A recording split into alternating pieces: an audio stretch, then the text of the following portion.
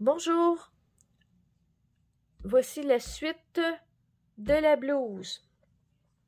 On va commencer par l'ourlet.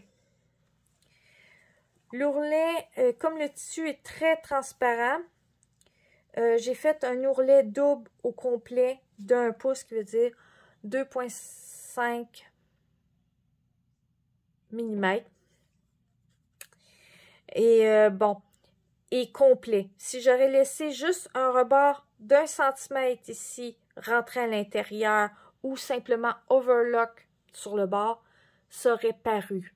Et je voulais pas que ça paraisse et qu'il y ait le moins de coupures possible. Je pense que j'en ai fait suffisamment. Ça fait que je l'ai rentré et c'est un bord double.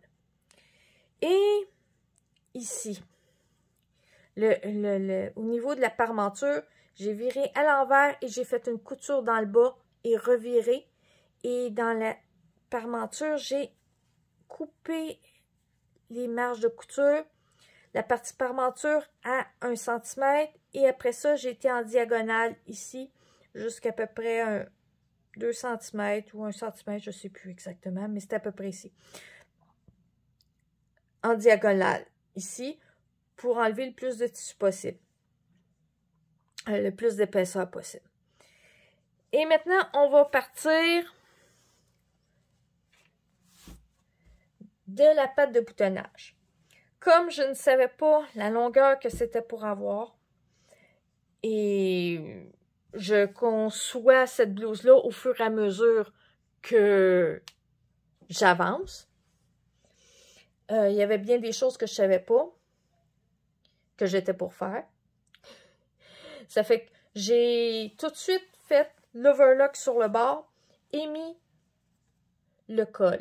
Sauf que dans la pâte de boutonnage, il n'y avait pas au départ d'entoilage. Je l'ai posé après que le col soit fait, après que les après que j'aie fini la longe, pour que, tout, euh, que toute la pâte de boutonnage soit un seul morceau pour l'entoilage.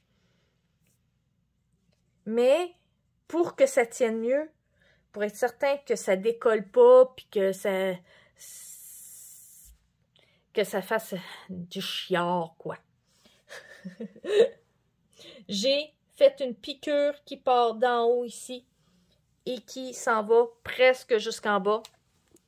J'arrête au niveau de l'ourlet ici que je bifurquais et j'ai continué, continué et fait tout le tour et fait la même chose ici. J'ai cousu jusqu'au coin là et j'ai tourné sur la pâte de boutonnage jusqu'en haut. J'ai aussi fait une chose, les tests pour les boutons. La boutonnière, ça c'est le bêta testing de la boutonnière. Ça sera majoritairement ce bouton-là qui sera là. Et euh, pour ça, pour euh, calculer la longueur d'une boutonnière, c'est le diamètre du bouton plus l'épaisseur du bouton. Si vous utilisez les choses automatiques, dites-vous bien que vous avez des boutons de ce genre-là, vous risquez d'avoir un petit problème car euh, euh, les, le système automatique ne compte que le diamètre de la boutonnière, euh, du bouton, et il considère que c'est un bouton standard qui veut dire de cette épaisseur-là, à peu près. Qui fait que vous allez avoir un petit problème. Ça risque de ne pas rentrer. Ça fait que c'est comme ça qu'on mesure une boutonnière. Je pense que je suis un petit peu fatiguée. bon, bonne journée.